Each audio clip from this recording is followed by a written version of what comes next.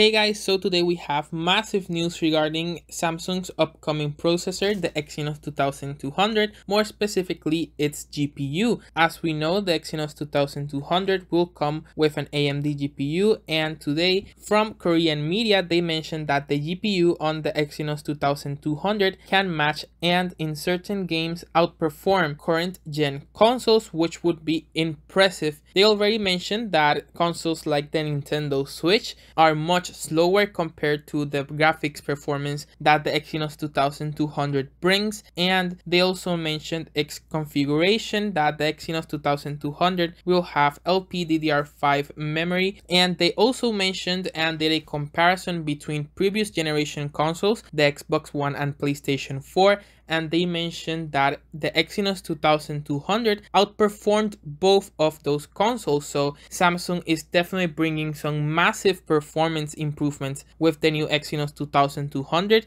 and in the future we could be seeing gaming devices similar to the Nintendo Switch adapt a more powerful processor like the Exynos 2200. Now alongside this they also mentioned that the RDNA 2 GPU will have 6 CUDA cores.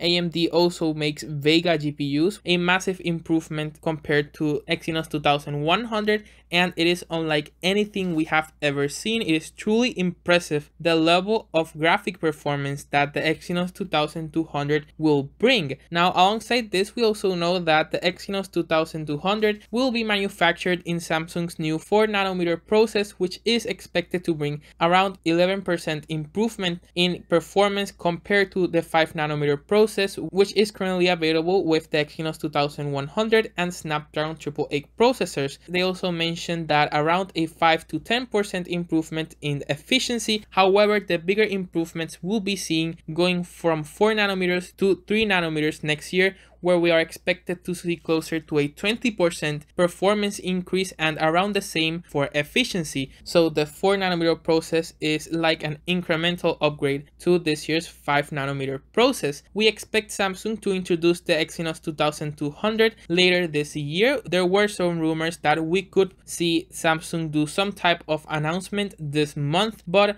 as of now, that has not happened and we expect the first device with this processor to be the Galaxy S22 series. However, there has been rumors that Vivo is in talks with Samsung and we could see the Vivo X70 series powered by an Exynos 1200 or Exynos 2200, both of which will have the new RDNA 2 GPU and both of those chipsets will also come with the new 4nm architecture. Now going to other news today, we have a complete leak of all the Galaxy Buds 2 settings and we also have more images of the buds themselves. So as we can see, the Galaxy Buds 2 will come in five colors, black, violet, green, white, and yellow and as for the settings and as for the settings we have the traditional touch controls active noise cancellation one tap double tap and triple tap to activate certain functions and the most interesting one is that there is a new interface for the Galaxy Z Flip 3. This device will bring a bigger cover display and with that Samsung is adapting most of its app to function while the Galaxy Z Flip 3 is closed. Things like active noise cancellation and touch controls can be able to be activated